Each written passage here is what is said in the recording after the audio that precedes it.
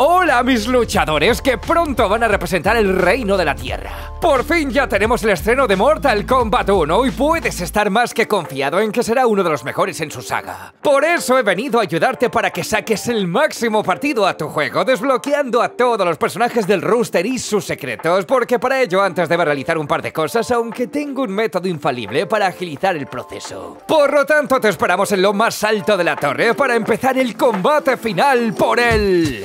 Jugadores, bienvenidos al show de videojuegos. Soy Ray Snake Eyes y colega, yo qué narices sé, solo estoy pulsando los botones porque lo veo bastante blanco. Ya, fíjate, yo creo que te falta un buen cameo para salir de esta situación y además puedes elegir uno de los que están aquí. Vale, NetherRealm Studios ha hecho las cosas increíbles con Mortal Kombat 1 y la prueba de ello es que como en antaño uno debe completar ciertos modos si es que quiere desbloquear a todos los personajes del juego. Aunque déjame decirte que la comunidad ha presentado algo de confusión por varias cosas que ahora vamos a comentar. Vale, lo primero que debes saber es que en Mortal Kombat 1 tenemos un amplio roster dividido por 23 luchadores principales, además dejándonos con un detalle curioso. Y es que al establecer un combate a través del modo versus, los primeros personajes que aparecerán serán justamente los últimos que han combatido. Entonces muchos nos confundimos porque si te fijas hay un total de 24 espacios y pensamos que el de la derecha del todo iba a ser otro completamente secreto, pero todo apunta a que se tratarán de personajes extras a través de los DLCs. Así que no te comas la cabeza porque no se pueden conseguir. De hecho, tampoco se trata de la selección aleatoria, porque esto más bien se encuentra en la parte superior a través del roster.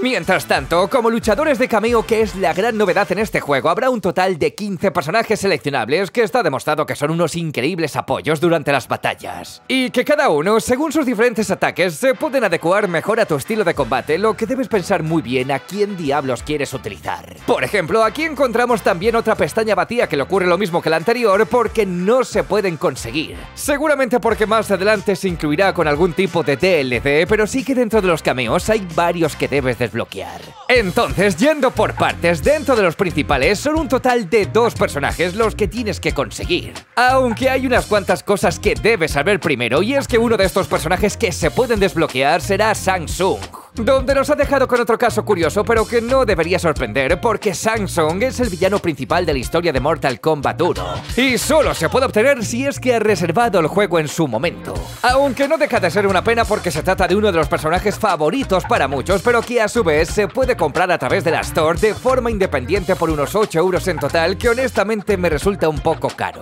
Por ejemplo, si has seguido la historia principal, pasa una cosa especial, y es que a través del capítulo número 13 sí que puedes manejar el hechicero Samsung, lo que es genial porque así por lo menos puedes saber qué tal es y si finalmente te ha gustado. Pero date cuenta que con esto estás limitado porque solo tienes cuatro enfrentamientos con los que puedes jugar con él. Y únicamente vas a realizarlo a través de la historia principal, lo que implica que solo puedes jugarlo desde aquí. Además, sin poder ejecutar sus fatalities porque la historia no se puede utilizar esta mecánica. Igualmente, cabe destacar que tú te vas a enfrentar contra él constantemente porque no deja de ser uno de los villanos principales dentro de la historia, pero ya sabes que para conseguirlo solo es posible si has reservado el juego o lo has comprado directamente en la Store. Porque de lo contrario esto no será posible y la verdad que es un luchador excepcional capaz de transformar su cuerpo e imitar a otros jugadores utilizando unas cuchillas. Sin embargo, el único jugador principal que puedes obtener dentro del juego desbloqueándolo será el de Havik, otro villano que además tiene bastante sentido el cómo lo vas a conseguir. Por ello, para realizarlo, a diferencia de otros juegos, tienes que haber completado la historia principal lo que conllevará hasta un total de 15 capítulos. Y como os decía, encaja bastante por cómo acaba el juego, porque si te has preguntado qué tiene de especial, pues realmente bastante, porque se conectará con los futuros videojuegos. Personalmente yo apenas lo he utilizado, pero ya viste cómo su diseño parte con una cara desgarrada y utilizando ataques de sangre, invocando orbes de color rojo para golpearte o incluso hasta arrancarse sus extremidades para hacerte daño. Así que por este lado es todo lo que debes saber en cuanto a luchadores principales. Sin embargo, los de cameo tienen un poco más de historia, pero tampoco va a ser complicado el que te hagas con el plantel al completo. Por ejemplo, debes saber que son 5 los que se pueden obtener en total, que son unos cuantos, además siendo incluso repetidos porque coinciden con los principales. Pero no te confundas porque no tienen nada que ver, porque estos pueden aportarte ataques únicos para ayudarte. Entonces, si te has fijado, cuando juegas a través de los diferentes modos de juego, tú tienes una especie de tarjeta que puedes personalizar y además funciona como el nivel de jugador total.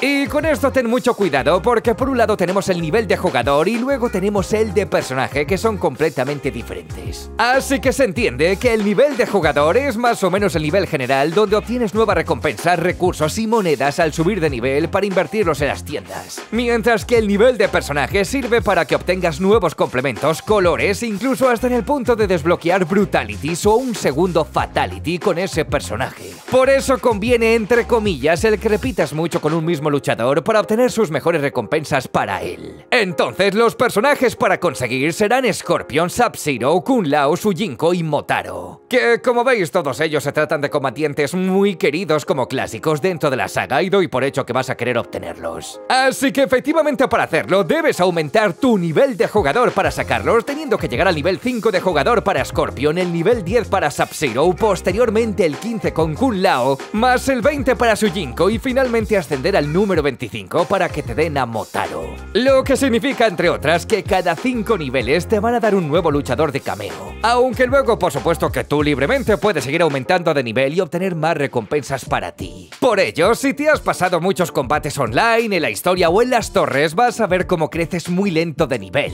Pero no te preocupes porque tengo un truco muy bueno para ti, para que puedas obtener mucha más experiencia en un camino muy rápido. Por lo tanto, mi consejo es que si tú quieres quitártelo cuanto antes, es que hagas uso del modo invasiones, el cual quedará desbloqueado desde su salida y además te adelanto que es un modo muy divertido de jugar. Porque digamos aquí, vas a estar en mitad de un tablero con diferentes puntos que al llegar o posicionarte encima de ellos vas a tener nuevos combates que realizar. Además, entre las miles de pruebas hay unas llamadas Test Your Might que son divertidas para aplastar un objeto o algo parecido presionando los botones. Mientras que luego nos encontramos con otras de esquivar unas bolas, aunque si te soy sincero, si te quedas quieto las vas a completar igual y luego tenemos otras tantas más. Por lo general, es muy factible realizarlo desde este modo porque los combates son solamente de un round. Y realmente vas a tener que estar combatiendo todo el rato, donde entran en juego los niveles de los personajes, los talismanes, el daño elemental y otras mecánicas. Además, cuando avances vas a ver cómo abrían unas líneas que te van a indicar la dirección correcta que debes seguir.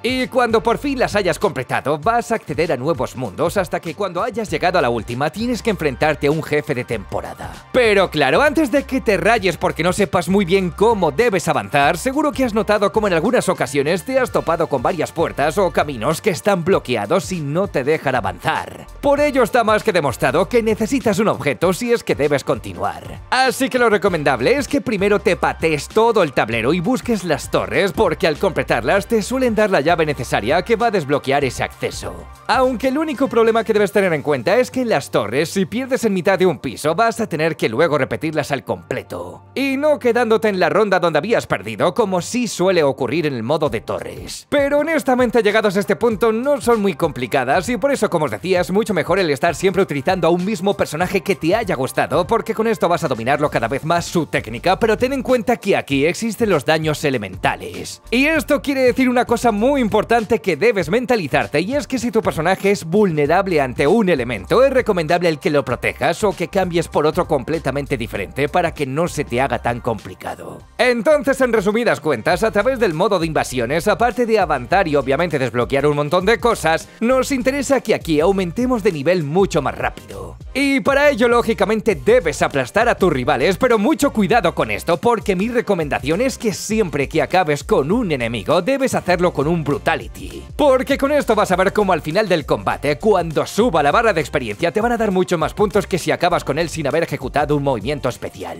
Igualmente ya sabes que entran otros factores en juego, como que hayas terminado un combate perfecto sin haber recibido daños, obteniendo muchos más puntos. Por lo tanto, mentalízate que en todos los combates debes acabarlos siempre con un Brutality. Y si no sabes cómo ya te adelanto que es lo más fácil del mundo, porque todos los luchadores tienen el mismo sistema. Y es que cuando realices un gancho quedándote cerca del rival, tienes que presionar el triángulo junto con el botón de arriba en PlayStation 5. Pero cuidado porque cuando lo hagas, no sueltes el botón triángulo porque debes mantenerlo todo el rato para conseguirlo. Y además, ten en cuenta que ese golpe del gancho tiene que ser el último para tumbarlo. Lo que quiere decir que no debe hacerse en el momento del finish him cuando estás intentando realizar un fatal sino que este tiene que ser el último golpe para que lo dejes noqueado. Por ejemplo, si te cuesta localizarlos, estos comandos los puedes ver perfectamente al pulsar el combate. Y además, si pulsas el botón cuadrado, puedes tener muchos más detalles para saber cómo tienes que ejecutarlos. Donde ese golpe como te adelanté va a ser común para todos los luchadores del juego. Sin embargo, como extra, ten en cuenta que los cameos también tienen brutalities increíbles y funcionan exactamente igual. Pero recuerda que estos no vienen de serie y previamente debes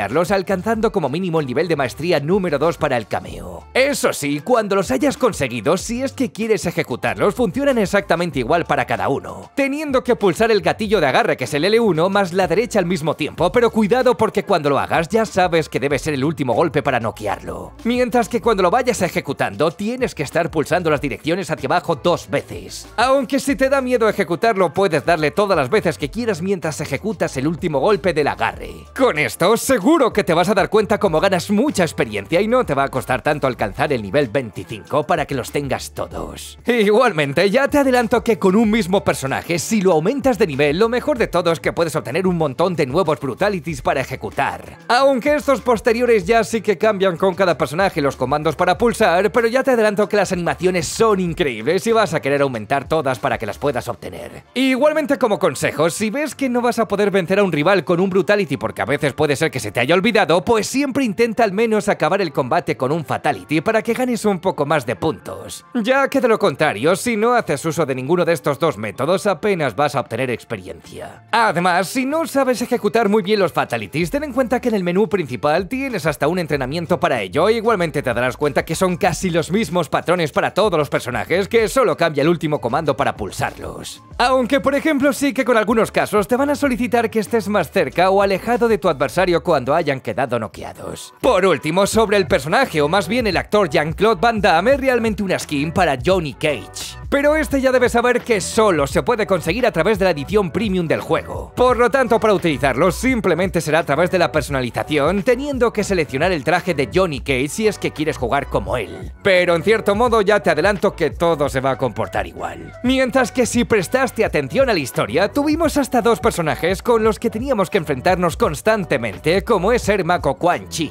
Pero si te paras a pensarlo, solamente combatimos contra ellos sin la posibilidad de seleccionarlos. Entonces, ellos sí que realmente se pueden conseguir y de hecho seguramente ocuparán un hueco en la ranura libre que habíamos visto en el rooster. Pero estos para conseguirlos vienen dentro del Combat Pack número 1 que ya se encuentra disponible. Aunque todavía no se ha lanzado para manejarlos y aquí se incluiría a Ermac y a Quan Chi jugables. Más otros tantos más viniendo directamente desde los cómics junto con otros nuevos personajes de cameo. Ok, esto es todo lo que debes saber sobre cómo desbloquearlo todo en Mortal Kombat 1. Y ahora cuéntame, ¿cuáles son los personajes que más vas a utilizar? Nos vemos muy pronto con más contenido y chao.